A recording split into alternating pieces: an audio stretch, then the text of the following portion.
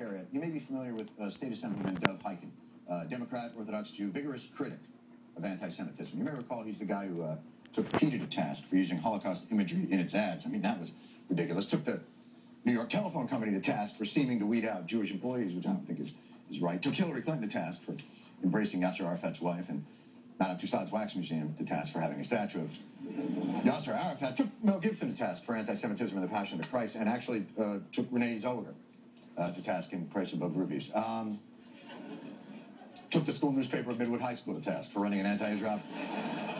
really, really hates anti-Semitism. Now, some of those may seem a bit like an overreaction, but the guy believes he's standing up uh, for a group whenever he feels this group has been unfairly maligned or, or held up for ridicule. So, uh, what's he been up to lately?